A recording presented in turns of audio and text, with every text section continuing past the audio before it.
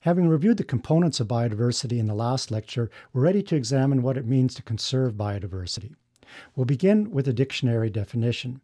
If you go to the Oxford English Dictionary, you'll see that conservation is the preservation, protection, or restoration of the natural environment and wildlife. This implies three specific tasks. These three steps are summarized in this diagram. The first step is to define a baseline. If we're going to preserve or restore an ecological system to its natural state, then we need to understand what that natural state is. What exactly is it that we're trying to achieve? Next, we need to determine how the system has changed over time. We're talking here of identifying threats to biodiversity. Lastly, we need to identify ways of counteracting those threats and bringing the system back to its natural state, or as close as possible to it.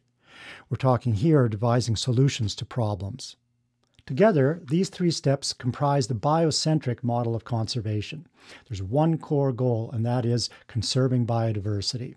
Basically, the job is determine what's gone wrong and then fix it.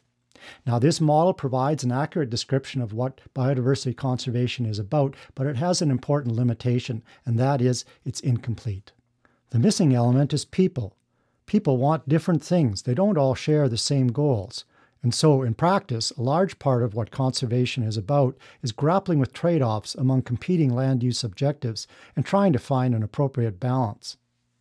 A more complete model of conservation is shown here. We'll go through the various components one at a time. The biocentric model we discussed earlier is still here. I've labeled it science domain to reflect the fact that it's mostly conservation professionals that are active in this area. The activities are the same.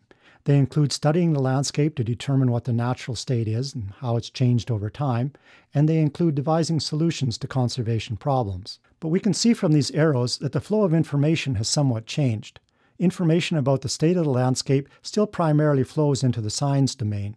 But conservational professionals are generally not the ones making decisions about how we interact with the landscape. Instead, information about conservation problems and solutions that flows down to the public and to stakeholders and to decision makers. The next domain is the realm of the public and stakeholders. This is where values and priorities and concerns about biodiversity are determined, along with other societal objectives. Now, few people have direct first-hand information about the state of the landscape or the plight of individual species. They depend on conservation professionals to provide that information. But it's the public and stakeholders who determine what's important, and they determine what needs action. And this information feeds back to scientists and it feeds over to decision makers as well. It's ultimately the public that both enables and constrains conservation. Lastly, we have the decision system. This generally resides within government, but it can occur within organizations as well, say a forestry company developing a management plan. Decision makers have several tasks. First, they need to distill broad values into discrete, measurable working objectives. Next, they need to determine which management options are available. And lastly, they need to decide which course of action is best. And this generally means grappling with difficult trade offs among competing land use objectives.